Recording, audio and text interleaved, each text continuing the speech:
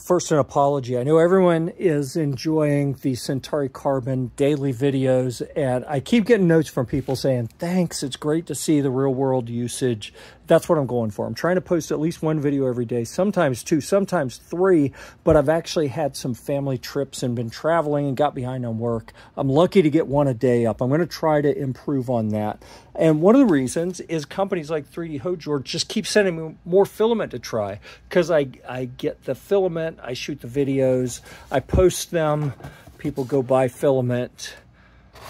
It makes everyone happy, right? So the most recent, oh, it fell off, had four of these mini spools in it. So you see three of them here. I'd already used two on the big roll. This one is a purple and black uh, silk PLA, all right? So I printed a guitar pick with it. Uh, so let's see what that looks like. I think we got pretty good detail. I may need to raise the temperature on that, that first layer a little bit. I think I printed this at uh, 210 on the first layer. I think I'll bump that up to like 220.